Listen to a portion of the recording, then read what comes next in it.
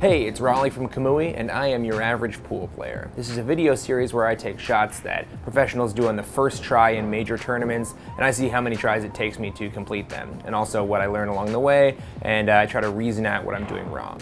This shot is from the finals of the 2016 Deurne City Classic. Two of Pool's greatest players, Jayson Shaw and Niels Feijen, squared off in a bank event where every shot has to be a called bank shot. In this shot, Jayson calls the near side pocket and blasts a perfect three rail bank that changes direction to go into the side pocket with position.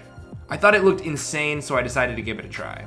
My first attempt, I just tried to hit it straight into the rail without trying to add much spin to the cue ball, but I don't seem to get that nice reverse angle off the second rail. I notice Jayson is playing this shot with low left and he's really putting some mustard on it. So I give the same low left and a lot of speed and Okay, wow, that combination seems to be just about perfect.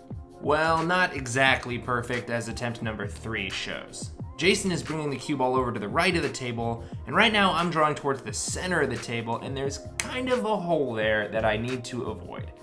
To do that, I have to hit the ball a little further to the left of the center pocket so I can come over to the right. On the fourth shot, I did the opposite of that. And even though it looked kind of cool going into the corner pocket, my stroke looked like garbage, and my stick veered way off to the left, which might explain hitting the point instead of the rail. On attempt number five, I made sure to hit it a little further away from the pocket with low left. Okay, that's just about where I was on attempt two, but the cue ball is moving in the right direction, so that's progress. Now I just need to increase the speed to get the ball to reverse just a little more to make that center pocket, and Hey, alright, six attempts to figure that shot out. But once you know the secret, it's actually not that hard to replicate. There is something that I'm not super sure about, so if you know the answer, please comment below. Does adding cue ball spin actually matter, or is it just about the speed that you hit it? As I learned from my first video with Efren's 10 ball shot, spin from the cue ball can transfer onto the object ball. But if I really blast a ball, even with a non-spinning cue ball, it can sometimes bend backwards and do that reverse bang. So really my question is, does the first rail give a speeding object ball its reverse spin so that when it hits the second rail, it's able to come back and complete the triple bank? Or do you need to add spin to the ball to give it that reverse?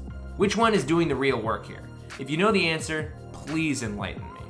That's it. Thanks for watching, and thank you to Society Billiards for letting me film in their wonderful pool hall. If you have any comments or questions or critiques or criticisms or anything, go ahead and leave them below, and uh, I'll try to respond to them as best I can. Uh, thanks, and join us next time.